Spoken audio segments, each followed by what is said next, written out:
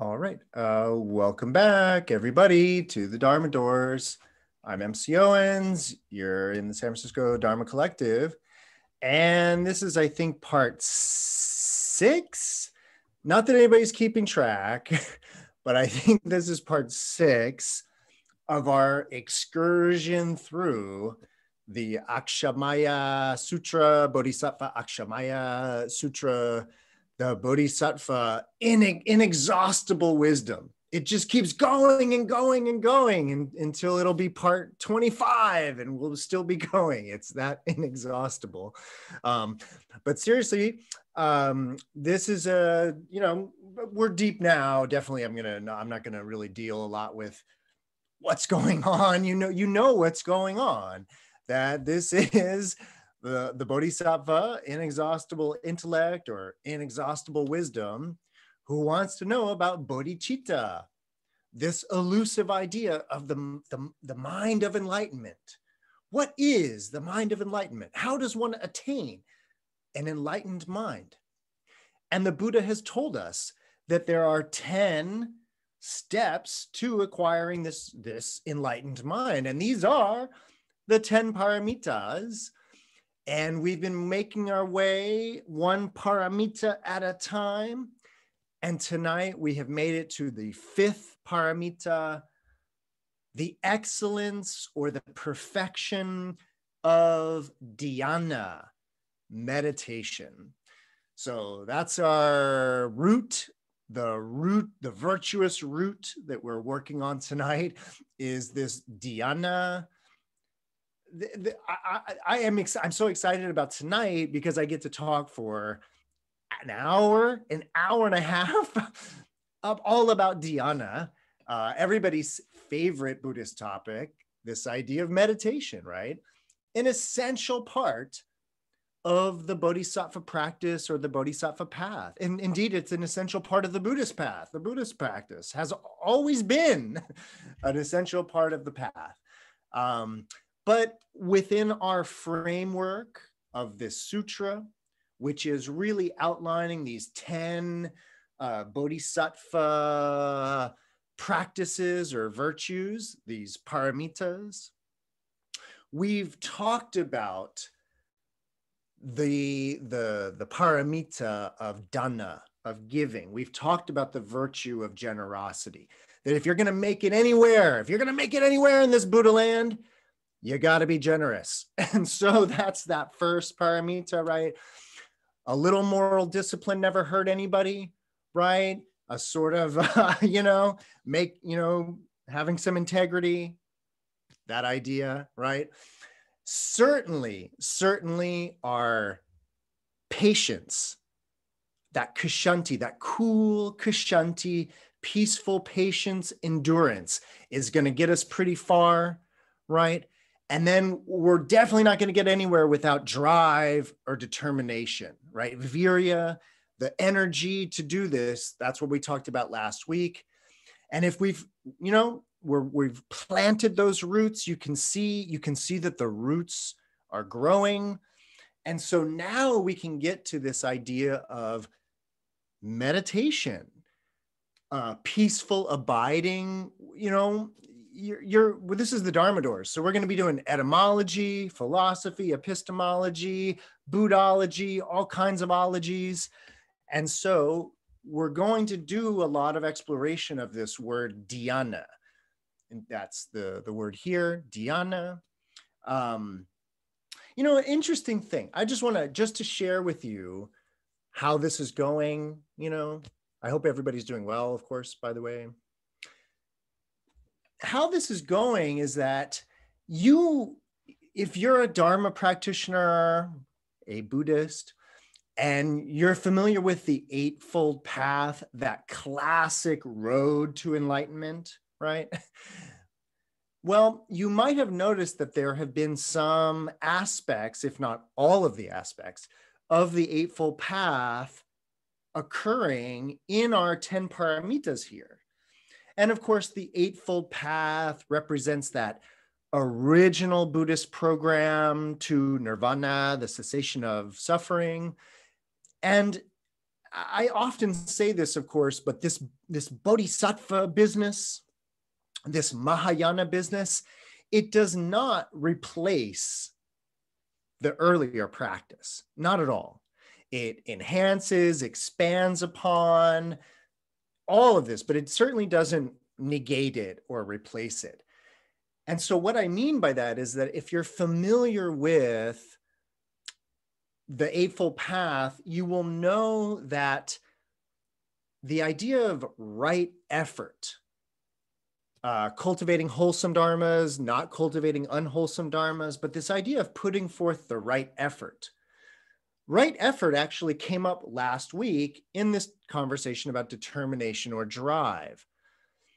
And so what I want you to do is, you know, if you're, uh, you know, study Dharma, start to notice some correlations or relationships between the eight, the traditional eightfold path and this kind of fancy bodhisattva 10 paramita path because there's a lot of similarities and what i mean by that is is that in the Asamkhya yoga tradition, what is today referred to just as like Ashtanga yoga or the system of Patanjali, there's a lot of preparatory work that needs to be done yamas and niyamas and pranayamas and asanas.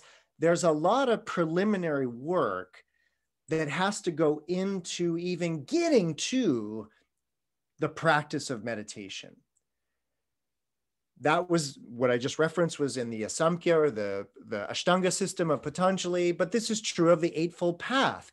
That if you think of the Eightfold Path as moving towards the establishment of right samadhi, that right concentration, but you got to have right mindfulness, but and before that you got to have right effort, and before that you got to have right livelihood, and before that you got to have right action, before that you got to have right speech, right before that right intention, and you got to have your view right right? So the Eightfold Path is this idea that like if your view's wrong, then your speech is going to be wrong, and all these things are going to be wrong, and you're definitely not going to get samadhi that way.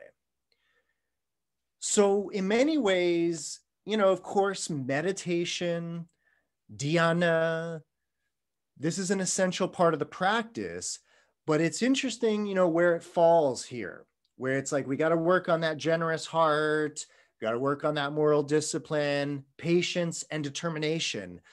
And it, there's a way in which, if you're kind of well established in those paramitas, then we can start kind of getting into these uh, 10, these are going to be 10 new steps in dhyana, right? So if you're familiar with some classic ideas of dhyana meditation, maybe like the four dhyanas, and even like the four formless dhyanas, otherwise known as the formless samadhis. If you're familiar with the basic classic uh, Buddhist schema of meditation, moving through these states of meditative absorption, dhyana, again, we're going to get into what these words mean, but you might already be familiar with like a, a schema of eight stages and tonight we're going to have 10 stages. And there's something I want to like just reference right off the bat, which is these lists and these ideas in particular, in particular, this idea that like, um, and I'm, I'm only of course speaking to everybody that's very familiar with the dhyanas and this idea of like four stages of dhyana right? Joy and contentment and all these different ideas of rapture and bliss. And there's a lot of um, discussion about this process of meditative absorption, moving towards samadhi. We're going to be talking about this tonight. And I just want you to know that this gets taught a lot of different ways it gets a lot taught, taught by me a lot of different ways. It gets taught by the Buddha a lot of different ways. It gets taught by other teachers a lot of different ways. And I would write just from the beginning, just to kind of get us in a in the right frame of mind.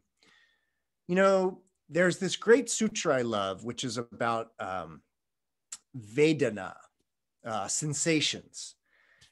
And this idea of like negative, positive, and neutral sensations, or like sensa- six kinds of sensations from the eye and the or from the from all the sensory organs including the eye and the ear and the nose the tongue the body and the brain but there's a great sutra where there's these two people arguing about the oh no the buddha taught that there were three kinds of sensations. No no no no the buddha taught that there were two kinds of sensations. And the third kind of sensation which is not neutral neither nor that's not a sensation at all. And like so they're debating about whether the buddha taught that there were three kinds of sensations and two kinds of sensations. And they eventually go to the buddha to figure this out once and for all who's who's right the, three are there three kinds of sensations or are there only two kind and the buddha says well sometimes i teach that there's two kinds of sensations sometimes i teach that there's three Sometimes I teach that there's six, sometimes I teach there's 18, sometimes 36. In fact, sometimes I even teach that there's 108 different sensations.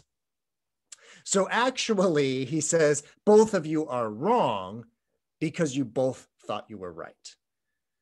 Right. And so there's what I mean to say is, is that from the Buddha's own mouth, he teaches these things a variety of different ways. And so I don't think there's any one schema here. And so tonight we're going to be exposed to a maybe for you a new schema or a new way of thinking about Buddhist meditation. So I just wanted to say that from the beginning that this this is going to be new, but it's it's not new.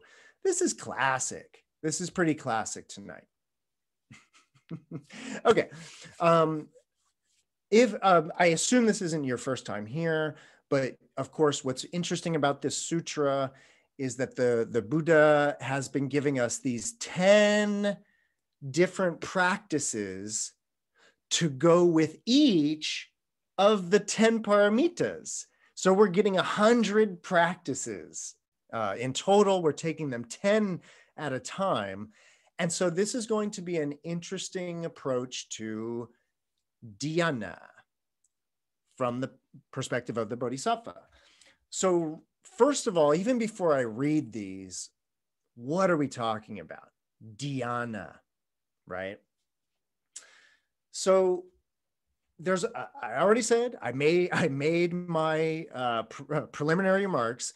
a lot of different ways to teach this, but in general, there is a process of well, the way that I like to teach it, the way that I, that I like to teach it is that there's sort of one verb. There's one verb going on here in Buddhist meditation. And that verb, well, in Sanskrit, it would be smrti. In Pali, it would be sati. In English, we would say mindfulness. That's the verb to be mindful. And there are techniques and processes for being mindful. And if you're curious about, like, but what did the Buddha mean exactly by mindful? I'm always a big fan of just flipping it, as I say, and just flip it and think of mindless. think of utterly careless, utterly clumsy, utterly not paying attention to where you're going, really just mindless versus a more mindful, careful, aware sense of being. There's obviously a lot more to sati or smrti, mindfulness. But the basic idea is, and again, because tonight is about dhyana, I feel slightly obliged to, to, to walk us through this. You know, in in lieu in lieu of actually doing meditation we can at least talk about it well and so to talk about meditation well this mindfulness sati or smrti the, the verb the thing that you can do which is be mindful it's usually accomplished accomplished by a focusing of one's attention and awareness on a particular object. It might be your actual breathing respiration. It could be a candle flame, it could be an image, it could actually be just about anything in a way. But the idea here is, is that for, for many of us, myself included, whenever I go to focus on an object, and especially like, let's say like my breathing, like the anapanasati, uh, awareness of anapana, awareness of respiration. Whenever I go to be mindfully aware of my breathing, I can do it. I can do it for a little while. And then sure enough, I get distracted and I some some something comes to mind or something distracts me. And then I go, oh wait, I was trying to be mindful of my breathing. And then I come back to my breathing. So mindfulness is when I'm focused on the thing that I want to be focused on. And mindlessness is when I get distracted. And like that. And so the verb, again, the verb is about mindfulness, focus, attention versus distracted mindlessness. What I'm go what I mean to say is is that there's one verb in Buddhism which is this mindfulness. But that mindfulness the sati or smrti in Sanskrit, that mindfulness, if you do it sort of either long enough or well enough or whatever, but you kind of you do it, you could slip into a dhyana, this meditative state that we're talking about.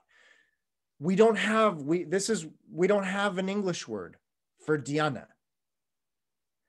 if if in particular you know we have this one word meditation this one precious english word that we must you know use carefully because i've already used it to describe maybe sati mindfulness. If that's meditation then what are we going to use for this well this dhyana there's a lot of uh, again there's a lot of way people teach dhyana there's a lot of ways that people teach how to recognize if you're in a dhyana there's a certain marker of this sort of dhyana and i would describe it you know i, I kind of describe dhyana as a peaceful abiding but i don't i don't want it to be a verb i want it to be a state a peaceful state where you're content and you're feeling good in that sense of like well that you there's nothing else you'd rather be doing. You don't have these desires and wants to stimulate yourself. You're good. You're actually good with the breathing. And actually there's a way in which if you are doing mindfulness, uh, that focused awareness, that focused attention on the breathing, there's a way that, you know, if you start to really go into this dhyana, a dhyanic state, this kind of peaceful abiding with the breath, there's a way that it feels so good you you would sort of keep sinking like deeper into that and and and then getting less and less distracted less and less aware of your the all the all the whatever and the past and the future and this and that and you're just getting deeper and deeper into a presence and it should be comfortable. That's a, always a marker of dhyana is that it should be pleasing and pleasant and feeling good. Maybe even a little euphoric possibly even rapturous, like really, really, really wonderful feeling. And again, it's a feeling that's being arrived or, or derived just from presence, just from being. And actually, you you begin to realize, oh, the more the more focused I am, the better this feels. and so you could keep kind of progressing through what are kind of considered some dhyanic states I'm not going to get into the dhyanic states tonight because they, they don't they come up in an interesting way. So I don't want to I don't want to spoil anything, but I just wanted to give you all a flavor for how I think of dhyana. I don't think of it as a verb, as like doing dhyana. I, I think of it as a state of being that is arrived at from doing mindful awareness, sati, focus, smrti. So everybody, I mean, I assume most of you are into this idea of dhyana already. Everybody cool though with what we're talking about tonight? Now, if you didn't know, and I should tell you, you know, because we're working with the Chinese uh, version of this sutra, this uh, of course, this is what the the Chinese, and this is the Chinese character, the Chinese translated this as Chan. Uh, and actually, what they did is, is they transliterated dhyana to Chana. And Chana is modern Mandarin. Medieval Chinese, from when this translation process happened or transliteration process, when it happened, the Chinese that was being spoken it probably even sounded closer to jhana, not this chana. It's a harsh cha today, but it was actually probably closer to a J. In fact, you should just, just because these things are interesting to some people, a lot of Chinese, uh, what we know of medieval Chinese, like how it sounded, we know how it sounded because of translations from uh, Sanskrit where we knew we know what the Sanskrit sounded like, and so we know the medieval Chinese probably was closer to like a J rather than the ch like today. So that even be even beyond the Dharma, there's a lot of interesting history involved in the translation from Sanskrit to Chinese. I just share that with you briefly. But what's even more interesting, of course, is that this chana, which is gets reduced to just this one Chinese character, Chan. Well, in the Japanese language that uses this, they use the same Chinese, they use the kanji, they use the same characters as Chinese, but they pronounce them differently. And of course, what's interesting is that the Japanese is not tonal. Chinese is tonal, right? You have all these four or sometimes more tones. Japanese is not tonal and they pronounce this character Chan Zen, Z E N. And so if you didn't know, I was I was obliged to tell you that tonight this idea of dhyana is this idea of Chan, which is this idea of Zen. Yes, that's right.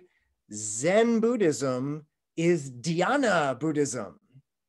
That's what Zen is all about. And so if if you know this um, kind of modern nomenclature of like, wow, he's so zen, or I was so zenned out. Yeah, dhyana it out. Like if you're, you know, involved in what you're doing, right? You're in your art or your practice, and you are so focused Remember that word, focused? You're so mindfully aware of what you're doing, your again, your art or your practice. And you actually get so focused and aware on what you're doing that you kind of slip into almost like a trance state where there's like, oh, it's almost like it's almost like everything else just faded away and I got into this Zen mode. Yeah, that's what we're talking about. That's dhyana. So it's what we're talking about tonight. And so just if you didn't know, that's what Zen means, is this trance-like state. And the Buddha is going to tell us these 10 bodhisattva steps in developing dhyana. Virtuous ones, the, the, the sutra says. Bodhisattvas practicing the paramita of dhyana, of Zen, regard 10 things, 10 dharmas, 10 things, 10 practices as foremost. Number one, peacefully or securely abiding in virtuous dharmas. That's number one.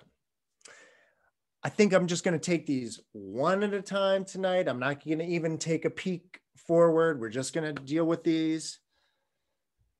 So there's a lot of language that we could get into here. Um, peacefully abiding.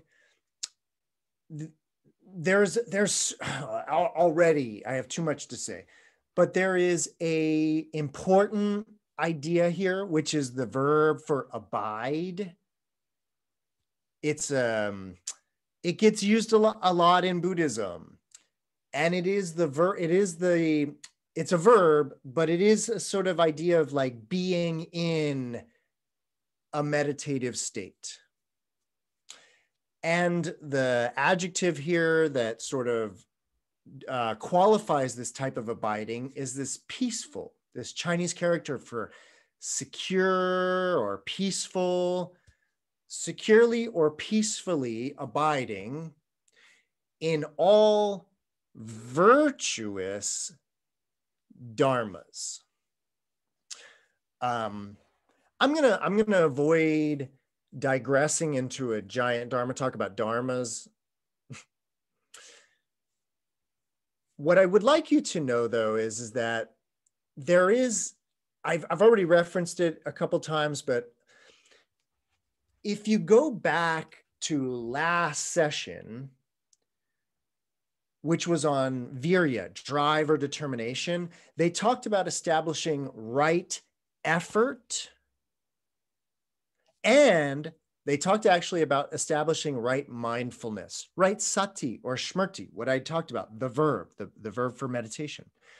And the reason why I mention this is that it was actually in the last paramita of virya, where the Buddha started to describe this idea of right effort and right mindfulness. And in particular, in Buddhism, right effort is this idea of cultivating or developing wholesome or virtuous qualities generosity, compassion, and wisdom.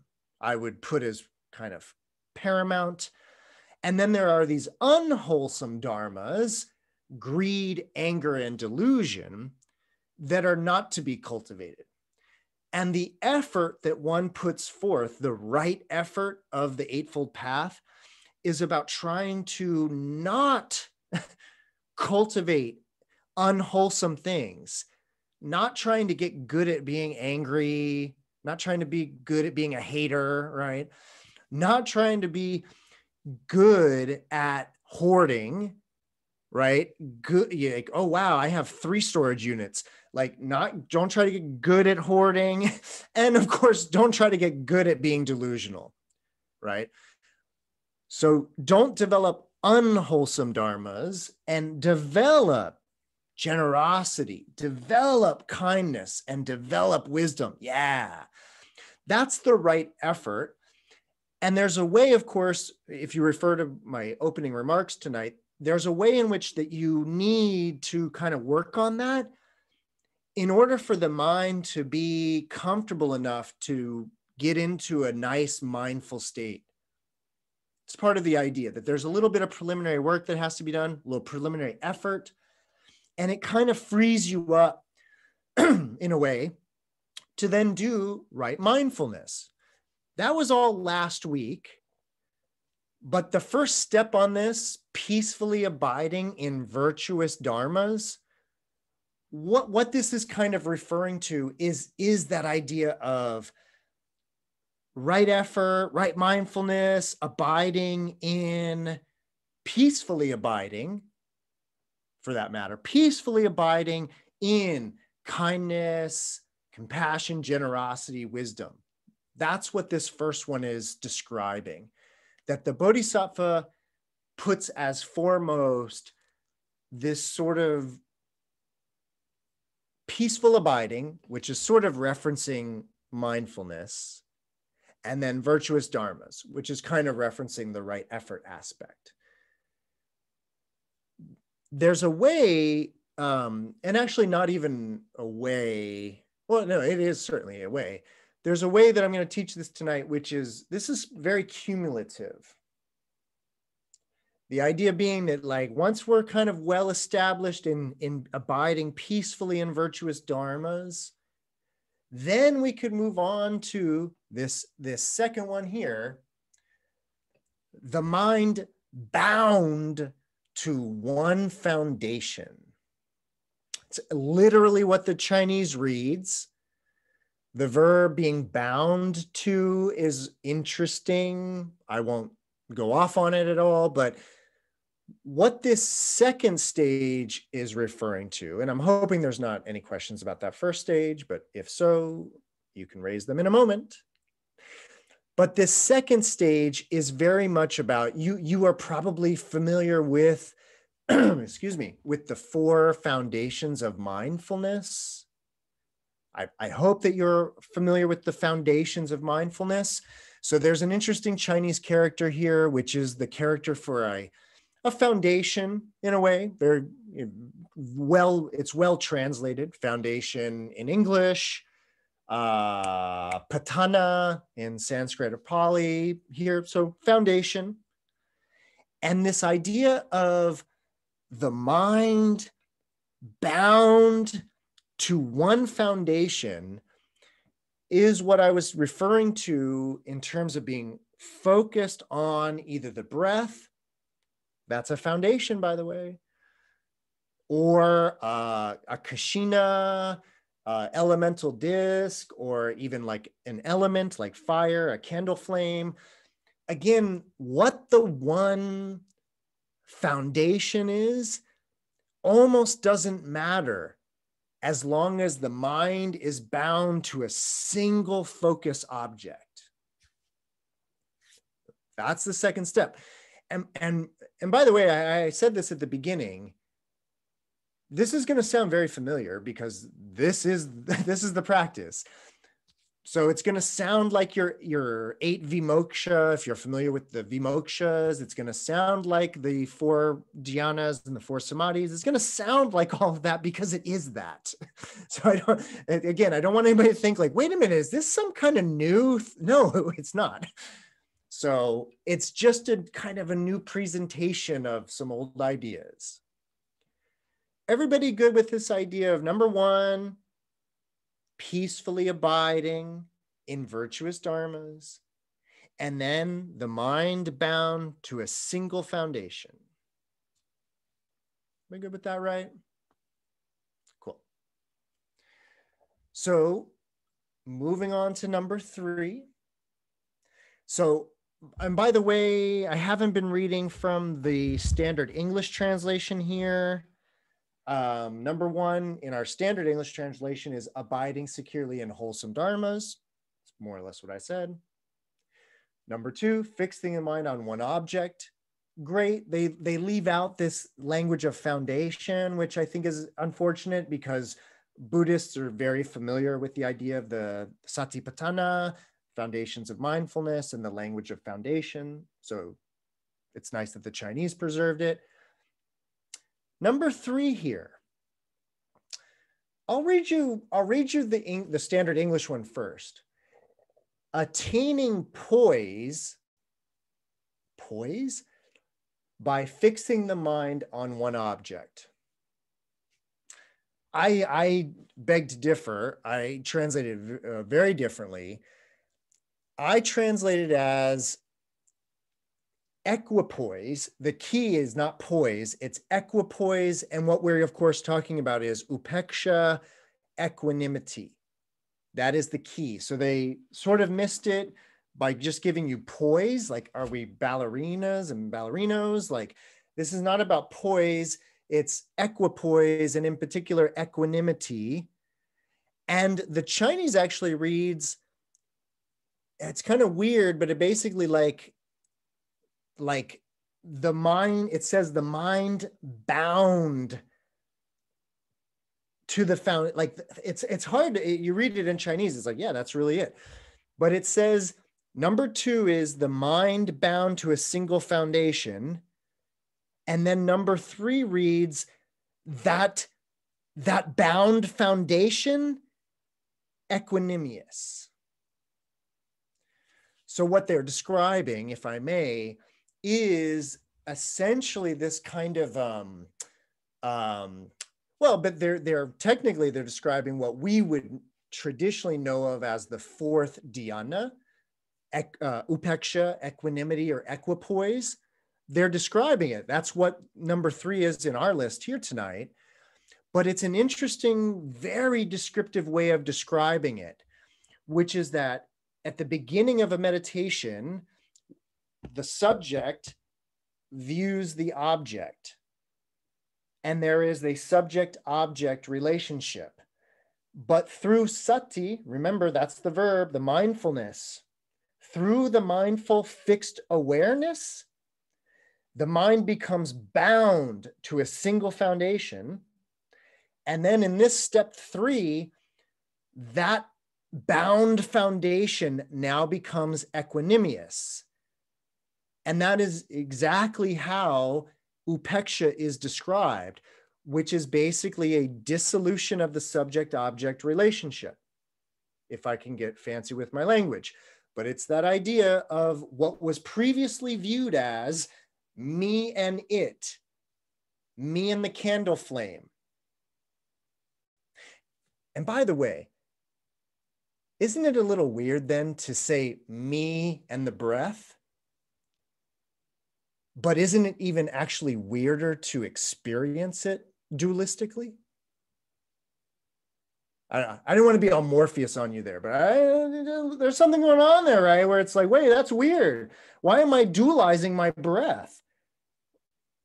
Anyways, that's the idea though of number three. Step three is this this upeksha or equanimity with what was previously the object. So now there is just this foundation, but without a dualistic experience. Okay, everybody good? Because we're in Upeksha now. We're in the, the subject to object relationship has been obliterated and now it's oneness, Upeksha, right? So, number four, number four is it right concentration, samyak samadhi, right samadhi. So I mentioned that last week they just in our list of 10, they just dropped on us right effort. You know, right effort. You know how to do it, Bodhisattva, get to it. Then they dropped on uh, last week, right mindfulness. Now, step four, step four, we arrive at the eighth of the Eightfold Path right samadhi, right concentration. You, you know about samadhi, right? Right? Samadhi, that's that's like um, well, I, I would I would suggest again, it's not a verb.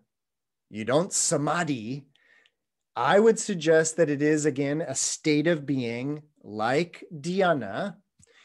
And for the most part, and just because I, I don't want to get too in the weeds tonight of like, I don't know, it's almost like hermeneutics at that point. Like, what do we mean? What do we mean by all these words? So I don't want to get too crazy about it. But there's a way in which upeksha, the the the last stage of dhyana, and samadhi, there's a way in which they're kind of one and the same, two sides of the same coin in a way. And what I mean by that is, is that samadhi is always non-dual.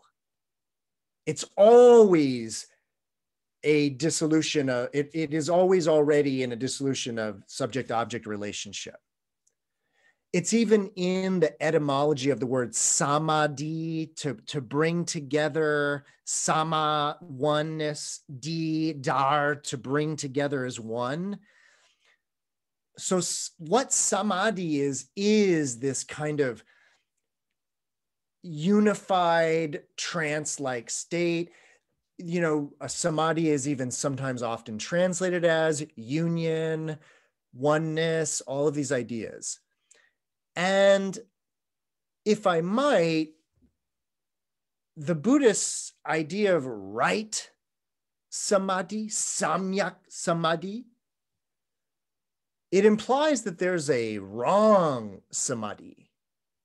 And indeed, according to like the Buddha or Buddhism, there's a kind of wrong way to do this, a wrong way to do samadhi.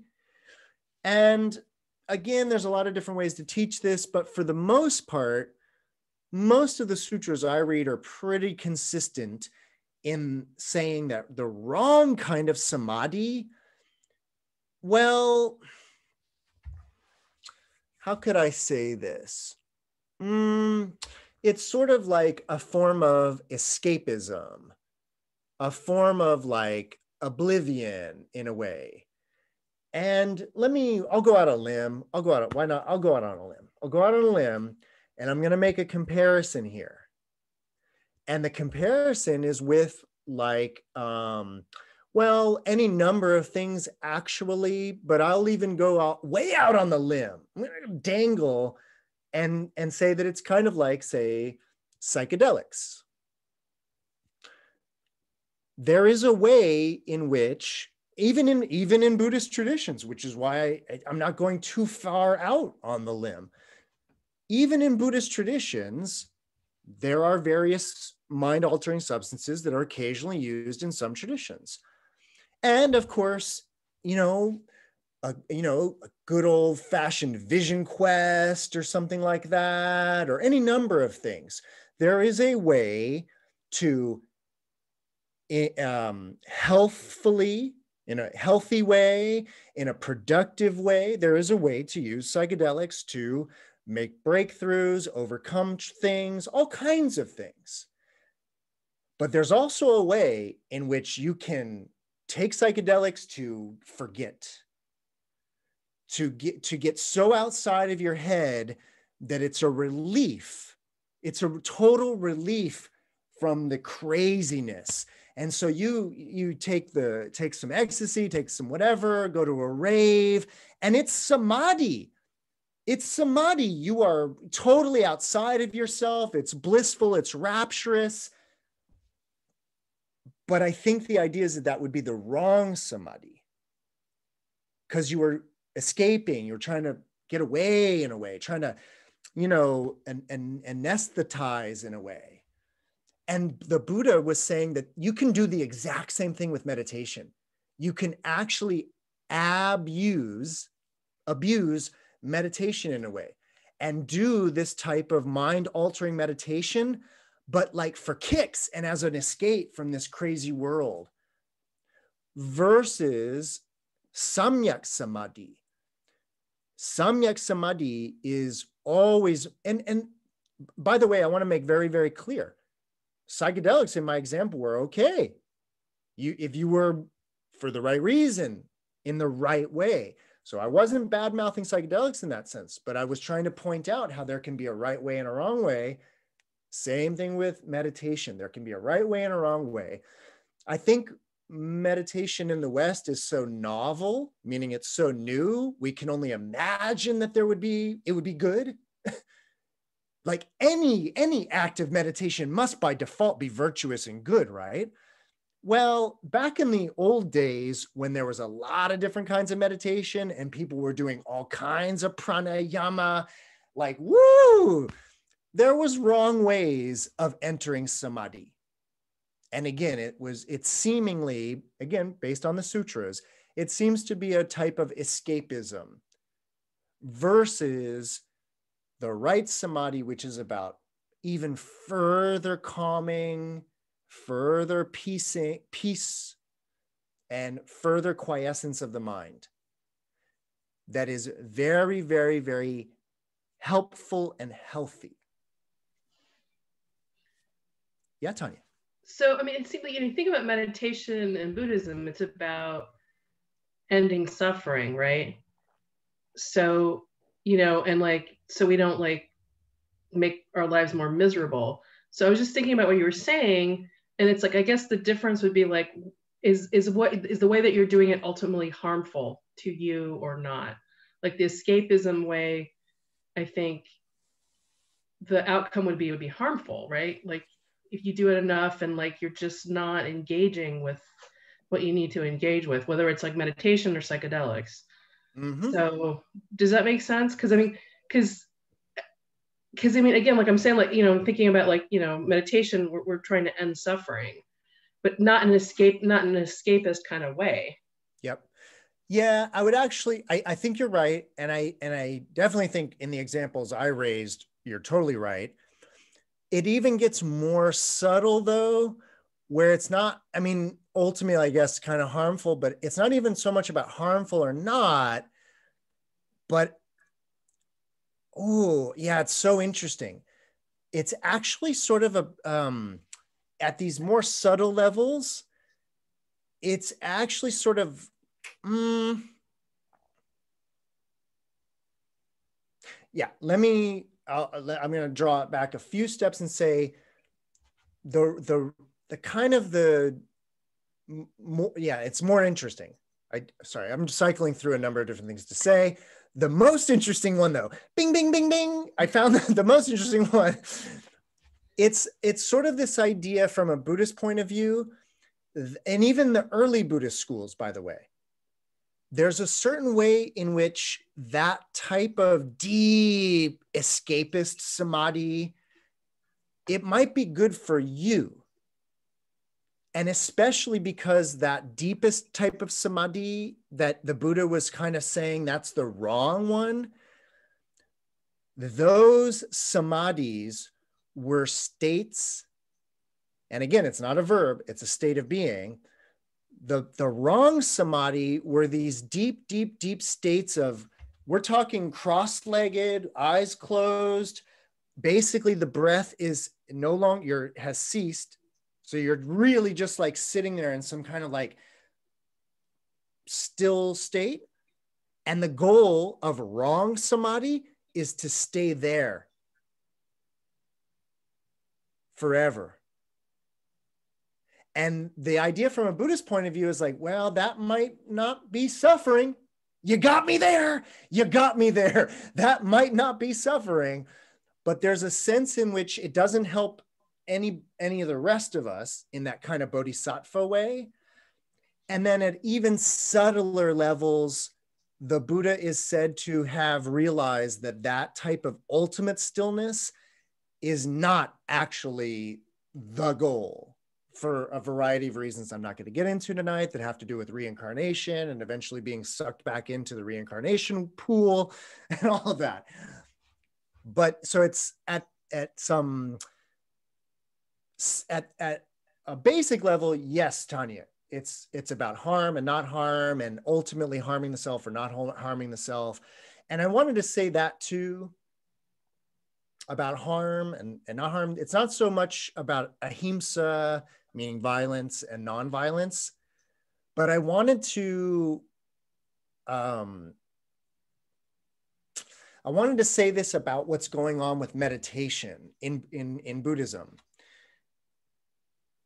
There is this thing um, that it's it's very akin to sleep, in that sleep is necessary. It's it's healthy. We need to rest, and you know, people try through stimulants and all kinds of things, they try to forego sleep. It just doesn't work. The, the body actually needs it. And even though you might be able to go a good, you know, a good 10 years of getting very, very, very, very, very little sleep, and you're really, really productive in those 10 years, the idea is that it's all going to catch up with you, right? It's all going to catch up. And so a good, helpful sleeping rest is just healthy and there's a way in which for you know from a buddhist perspective that meditating is giving the mind a, a need a much needed rest if there's you can almost think about it if i wanted to like psychologize it which i don't always like to do but if you wanted to psychologize it there's a way in which you know regarding the four noble truths and wanting and craving and suffering and all of that there's a way in which it's all kind of traumatic. And so just taking a rest from all that and not thinking about anything and just sort of like breathing and sinking into these nice peaceful peaceful states where there's not a lot of mental activity it's healing and the idea the reason why I, I say this is is that but you don't want to sleep forever there was a way in which the deep samadhi guys were like, yo, we can just get out of here, inception style. We can just like go to sleep and dream these worlds forever. And the Buddha was like, nah, let's, how about we do right samadhi, where we get good at doing samadhi, very, very good at moving into these peaceful, healing states. And then we come out of them and come back to the world peaceful beings and spread the peace and joy and love and, and all that. How about we do that? that's kind of right samadhi. so thanks, Tanya. That was, uh, uh, thank you. Allowed, allowed for a lot to come up. Okay, everybody good? So now we're at the, the eight, we're at the end of the Eightfold Path, right samadhi established from that oneness with the foundation, which was established by being bound to a single foundation, which was brought about by this sort of peacefully abiding in virtuous dharmas. Now, now it gets funky. Now it gets funky. Number five. So number five is in San. We um, it's very easy to reconstruct the Sanskrit the Sanskrit would be the dhyana vimoksha, liberation by dhyana. Dhyana liberation. Is that what I have? Dhyana liberation. So this is where things get a little funky because if your mind is very rigidly programmed with Dharma, you'll be like, but wait a minute, Samadhi comes after dhyana. How could we have dhyana after so like wait a minute but again i want you to sort of um um well actually think about it this way this is a fun this is a very very fun way to think about this. Um remember the middle path? Remember that idea of the middle path? Well indeed you can look at the meditate the spectrum of meditation as so like let's say this i'm going to hold it up here. This is the spectrum of meditation. And on this side is absolute mindlessness where i'm not just the the drunk monkey but like some other monkey there's just like absolute total mindlessness okay? And over here is like the deepest samadhi of no mind. Like just totally like you could hook all the things ekg no registration no mind no respiration total stillness neither perception nor non-perception you name it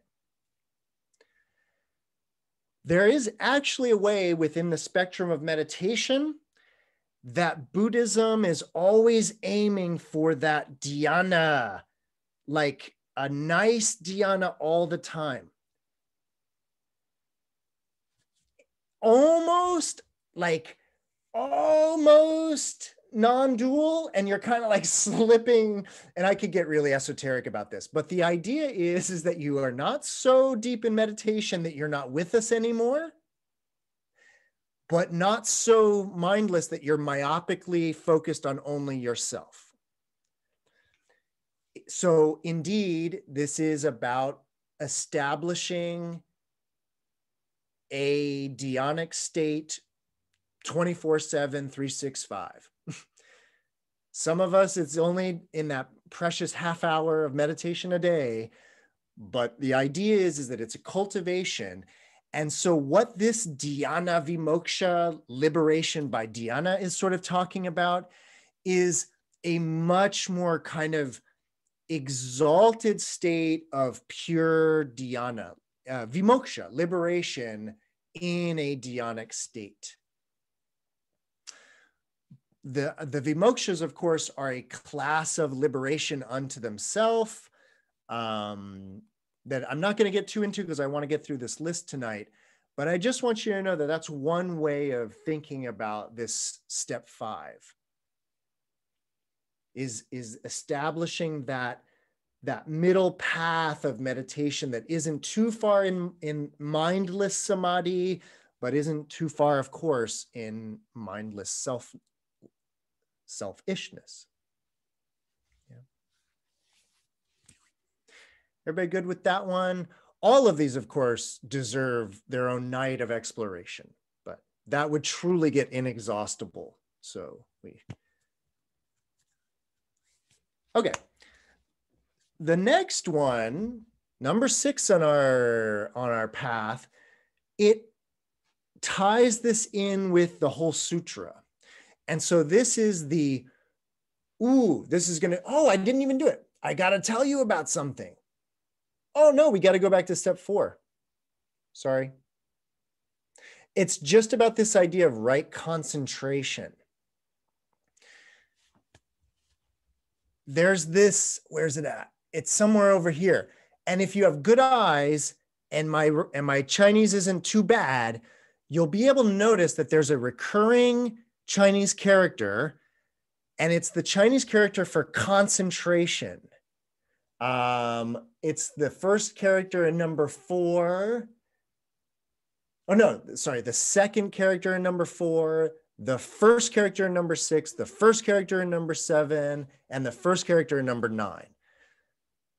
It's this, it, it, and the reason why I'm pointing this out is because this character, meaning this word, this idea it keeps getting repeated a number of times and so we need to we need to take a moment and and and talk about it.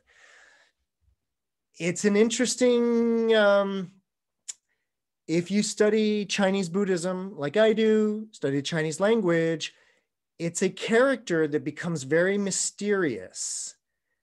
And i and i mentioned how we in English, we have too few words when it comes to this stuff, and we only have meditation. And meditation is a tricky already. Well, the Chinese, who already had a tradition of meditation before Buddhism arrived, they already had a few verbs. They already had a few words, you know, to go on. And so one of them is this Chinese character.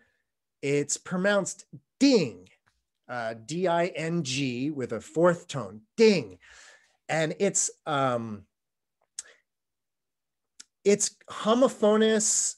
It's tricky, but it has a lot of, uh, uh, it's a homophone with a certain type of certainty. Um, and indeed, and even this Chinese character, it, it has this really interesting idea but what I mean to say is, is that if you read enough Chinese Buddhist texts, it's a word that the Chinese use for dhyana and samadhi. It, sometimes they use it for one, sometimes they use it for the other. And so there's sort of a you, you don't know what how to translate it. And the normal way to translate it is concentration. And concentration is the normal way to translate samadhi. So this starts to get tricky, what we're talking about. I just wanted to point that out to you because the one that we're about to talk about, number six, is the root of concentration. The root of samadhi, probably. But again, it's its own idea, which is like we're, we're talking about meditation. We're definitely talking about meditation. We're definitely talking about sati mindfulness and we're basically talking about that that line right in between dhyana and samadhi where it's like you're totally just in the cut in the pocket concentrated flow state like oneness. That's concentration. And number 6 is the development of or the cultivation of this root of concentration. And in this sutra and in the Mahayana tradition that this sutra represents, there are five roots, of which this is one of them. And if you wanted to, if uh, you know, if you wanted to have a feeling for what they're talking about, you know, I have my the field up here, and these are all the roots, right? I'm kind of um, working with the Buddhist metaphor of the roots and all of that. Well, the idea is, is that this root of concentration that, you know, a, a lot of this, a, lo- a lot of all of this, and I mean this Buddhism stuff, not just tonight, but like all of this. you know, if there's one idea that gets spoken about a lot in Buddhism, it's it's like conditioning and like conditioned thought patterns and the idea like samskara, right? And the idea that all of this is is like that we're very very conditioned, very programmed in that way, right? Culturally conditioned in that sense.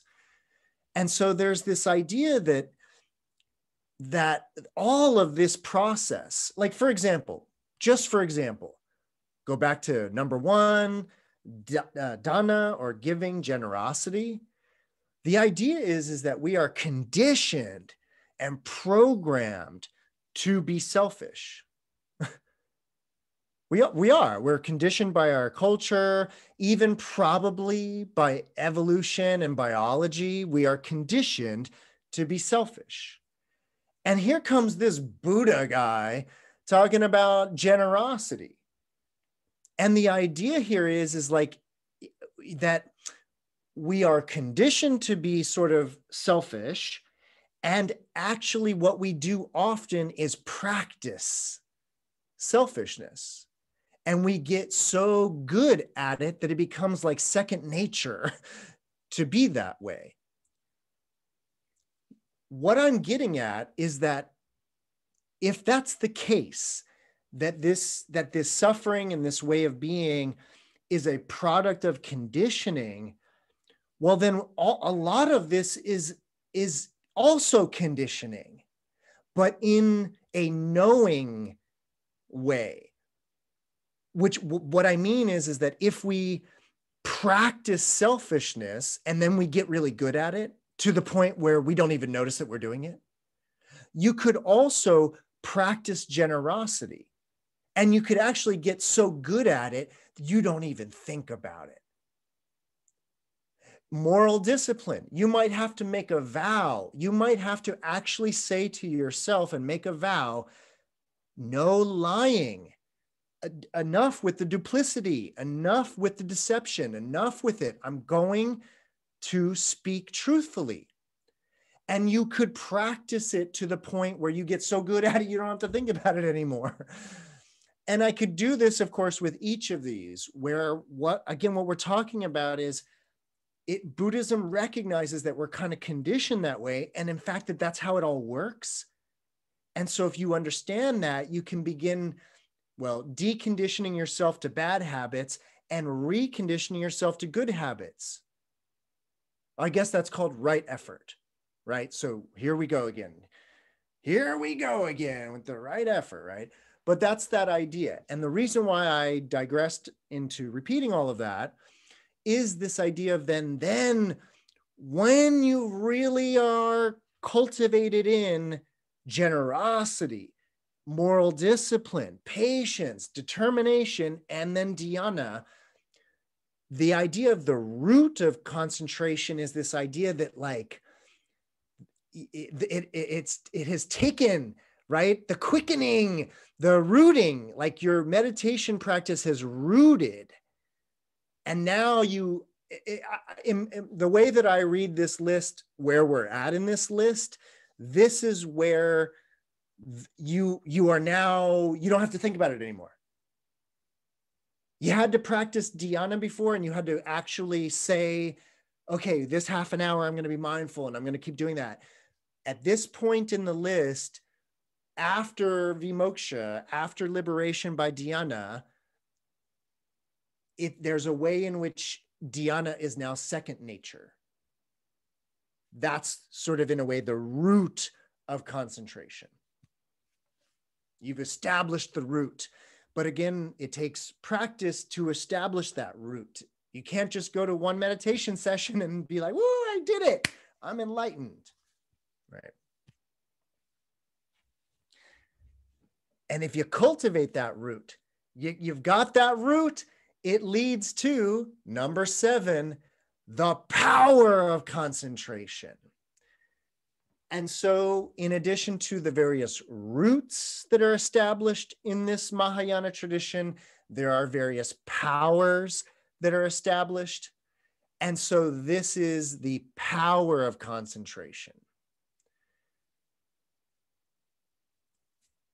Uh, if you'll notice, one of these is the bala, the power, right? And um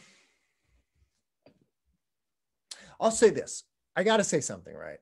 I got to say something. So I'll say this one thing about power, bala, and this idea of the power of concentration, but just power in general.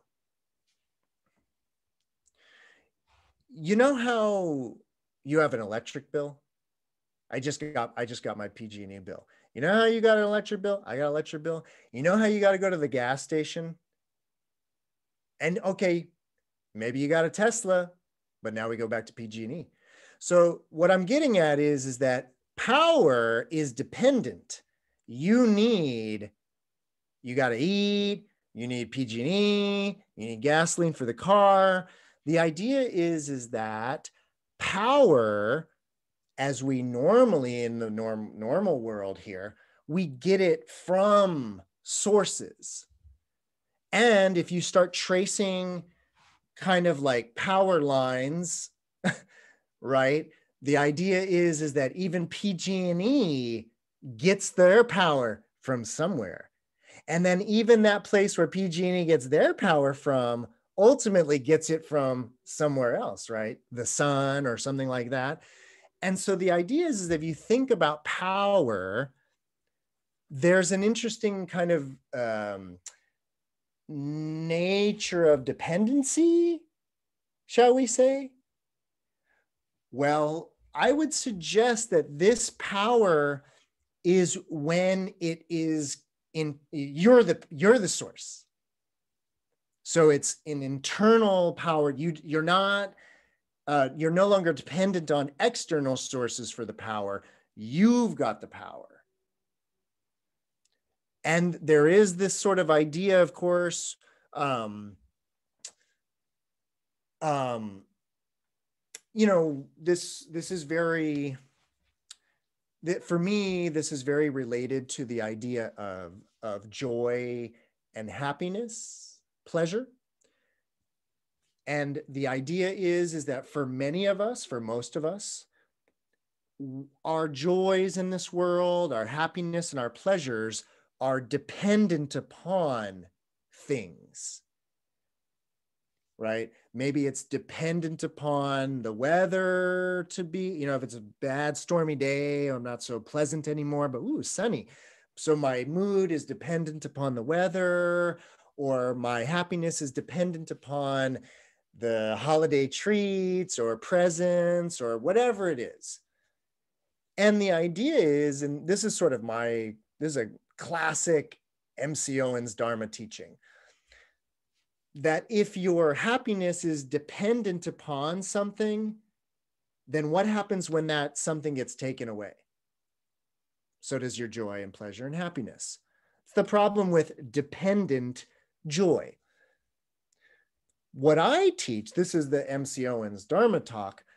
What I think Buddhism is talking about is the ability to have independent joy it's actually for me that's what the dharma is. It's why i'm always so excited and happy about teaching buddhism and being buddhist and all of that is because what they're talking about is an independent joy that comes from not being dependent on things for your joy that there's an even greater joy in not being dependent on things for your joy.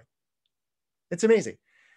And if you understand that simple dharma lesson right there that if you have your pleasures and joys dependent upon things, you're just kind of setting yourself up because guaranteed those things are going to go away and then, oh, no more joy. But the idea is, is that if you, through this meditation stuff and getting very, very comfortable with your own mind, one can arrive at a state of independent joy. It's not dependent on anything. This power business for me is very much part and parcel of that same idea that we get our power from the external, but Buddhism is talking about arriving at a state where you're the source. You're sort of the source of that power, the joy, all of that, because of the independence in a way, you know? So there are various types of power, and this is the power of concentration. And what I would suggest that means is the sort of power, energy, that kind of power that can come from the ability of focusing the mind. And I'm, I'm talking about like getting the job done. I'm talking about that kind of power that can come from focus. Yeah, I could drink three espressos.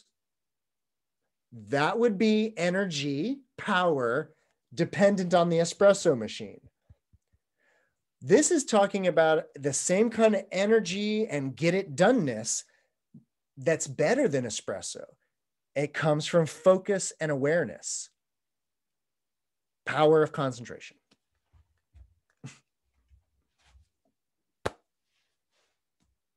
Everybody ready for eight, nine, and 10? Cool. So, in the Bodhisattva practice of dhyana, after having developed this power of concentration.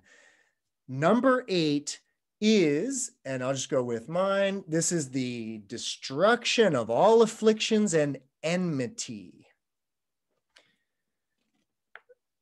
Our English, standard English translation says it's the destruction of afflictions and enemies.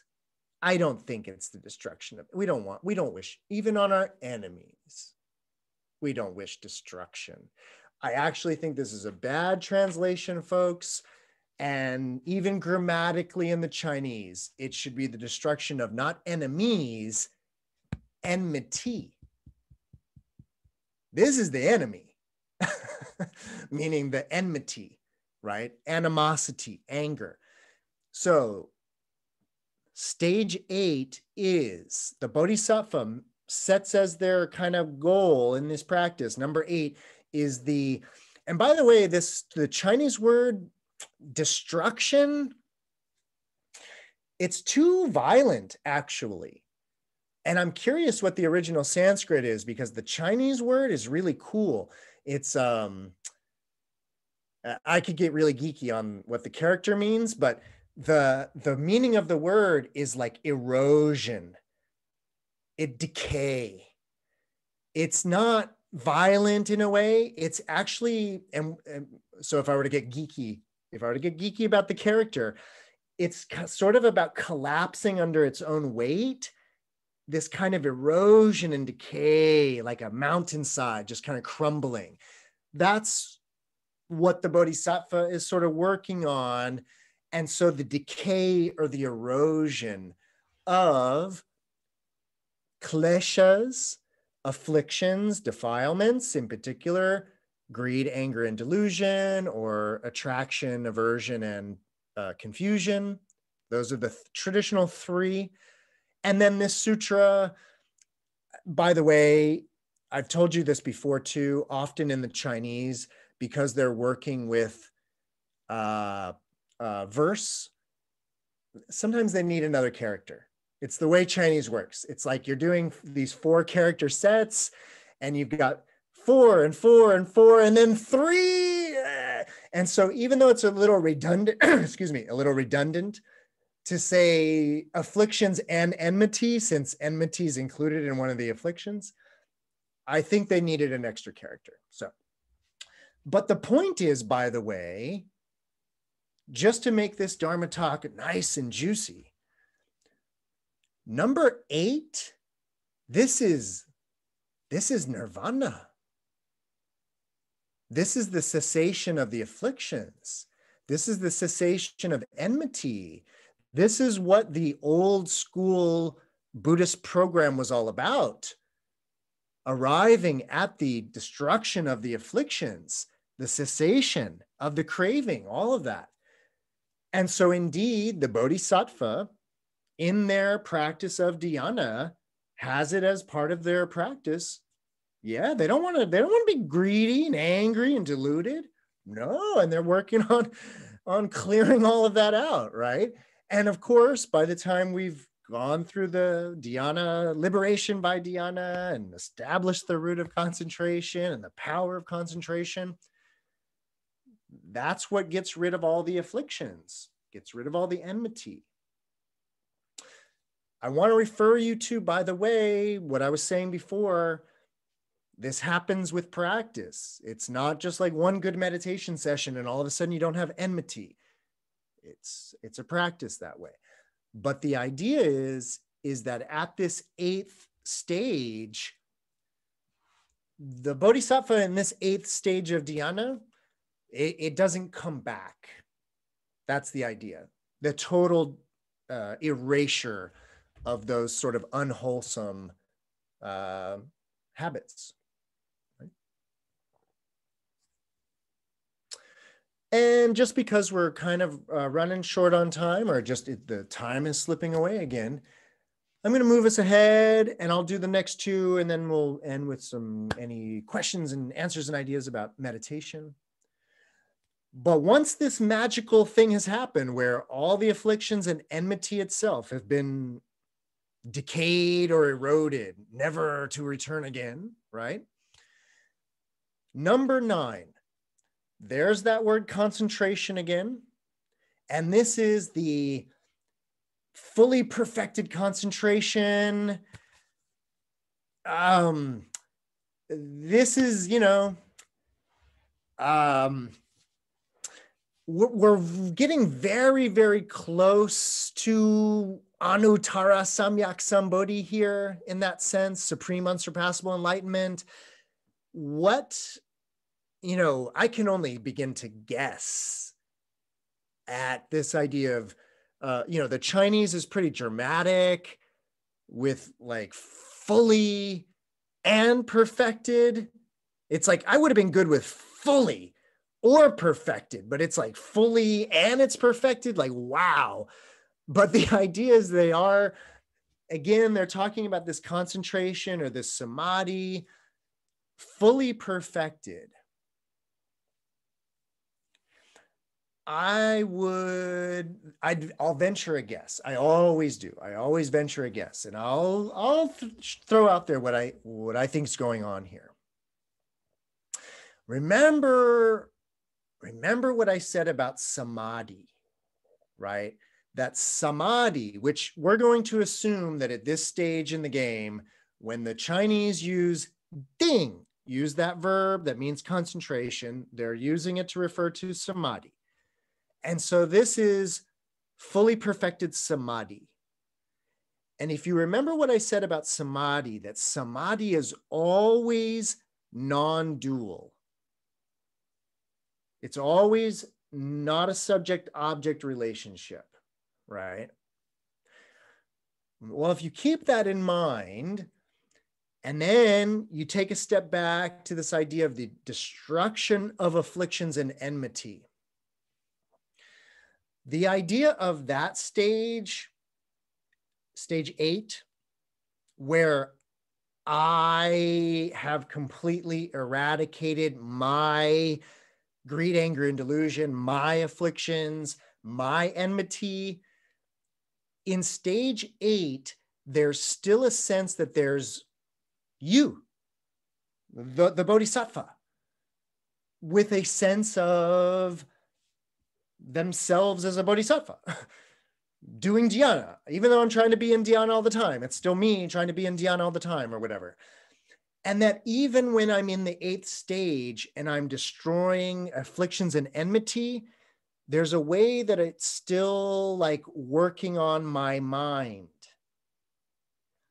I would venture my guess that what they're talking about with this fully perfected concentration now, now, not only is one sort of 24 7, 365 days in this sort of trance like dhyana. They've actually crossed over the threshold and are now are constantly fully perfected in a non dual state all the time. And that would basically, of course, mean seeing every other sentient being as one's own most intimate self. Right? That's what sort of what that would mean is making no distinctions between self and other. So somebody's walking down the street crying, the feeling is, why am I so sad? Deep, deep empathy. Empathy still implies a kind of me and you in it. So we're talking about, and of course, if you've been coming to Dharma doors, which I know all of you have, and you know about like the Dharma Dhatu idea, the concatenation of all events in the universe, and dependent origination and all of that.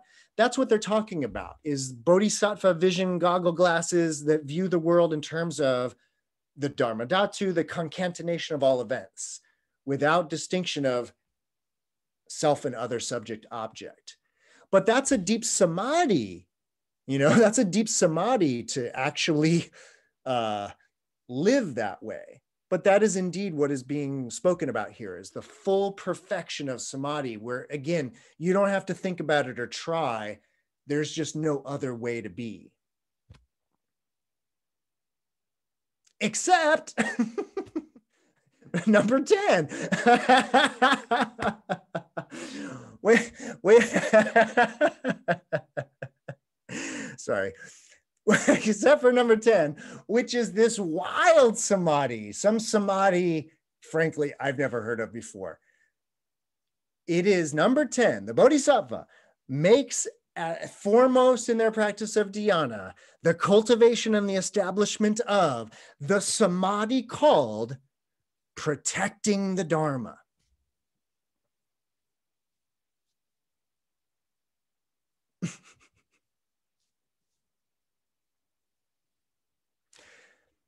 I'll say one thing about the samadhi called protecting the Dharma. It, it actually, um, yeah, I, I could say a lot about protecting the Dharma and the idea of being in the samadhi protecting the Dharma.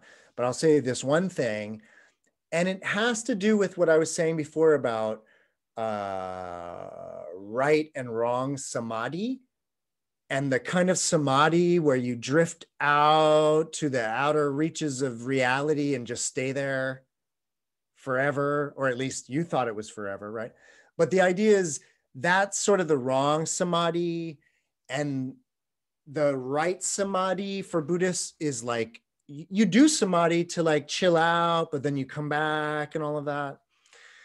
So it's sort of along those lines. But what I mean is, is you know,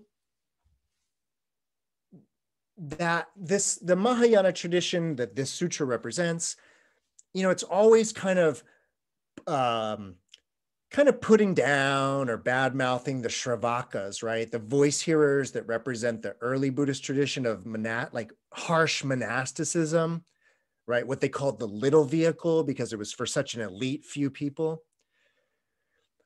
Well, they they put that down for being too self-involved that it's about my enlightenment and my virtue and how virtuous I am and how worthy I am.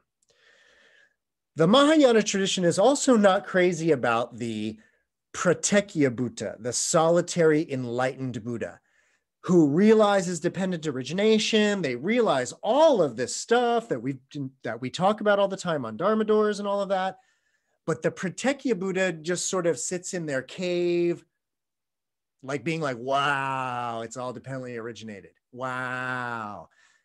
But they don't like go tell anybody about it. They don't particularly like help anybody. They just realize dependent origination. The idea is, is that this, you know, there's something, there's something at risk if if if you if this doesn't get um, passed on it's amazing teachings it's amazing dharma but there's something about passing it on. And you could think of that passing it on as a form of protecting it. And so, what I mean to say is, is that this language of protecting the Dharma, and you, you if you're if you're familiar with like uh, Tibetan Buddhism and Tantric Buddhism, there's Dharma protectors, these fierce, fiery, demon like guardians that protect the, the Dharma and they stand outside the door. And so there's this really interesting idea in Mahayana Buddhism of, of protecting the Dharma. And it's not, of course, that the Dharma needs protecting in, in that sense, but there's this idea that this is a, a, a rare teaching that needs perpetuating and needs passing on. And this 10th samadhi, this being in a samadhi of protecting the Dharma, I would again venture a guess that it's speaking about a bodhisattva being in such a state of mind where the preservation and protecting of the Dharma is always foremost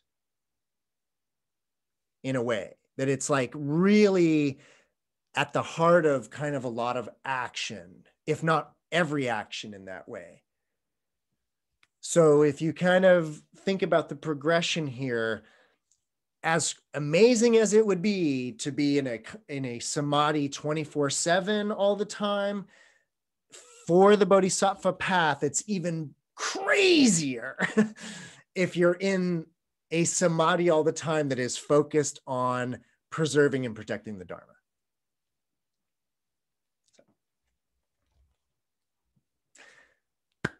And that's that's it for tonight, folks. That's the oh, those are the 10. That's how that's how the section ends. Those are the 10. So those are the 10. I don't think we're missing anything here. Nope. That's it. Any questions, comments, ideas? Meditation, dhyana, samadhi.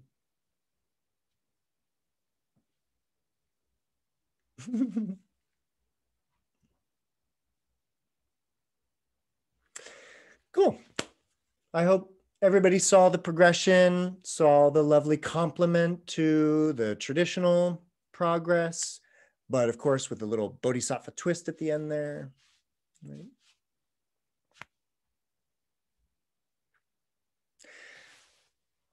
All right, everybody. Then we're going to keep going next week uh, with well, the next step, which is going to be talking about this prajna, the wisdom. So get ready for 10 practices focused on prajna next week. Otherwise, that's it for me.